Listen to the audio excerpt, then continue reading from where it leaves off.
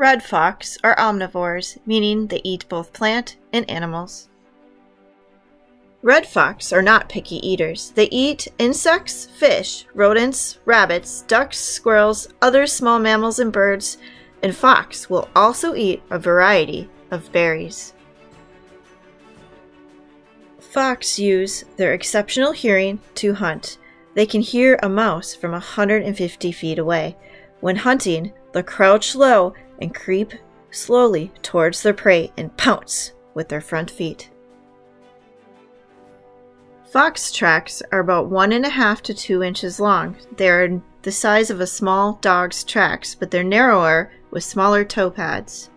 Red fox frequently travel in a direct register trot, meaning the rear foot lands squarely on top of where the front foot had just stepped.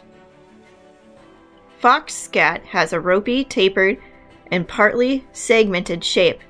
Fresh scat often has a distinct musky smell.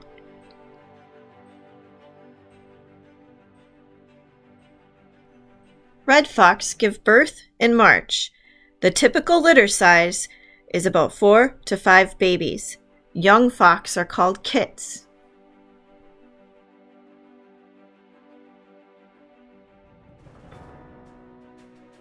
The kits start hunting with their parents when they are 3 months old and are ready to go out on their own after only 7 to 8 months.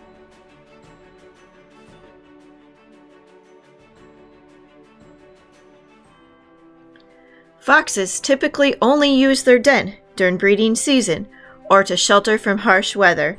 Foxes mainly live above ground. During the day, they'll lay in dense vegetation or under tree roots.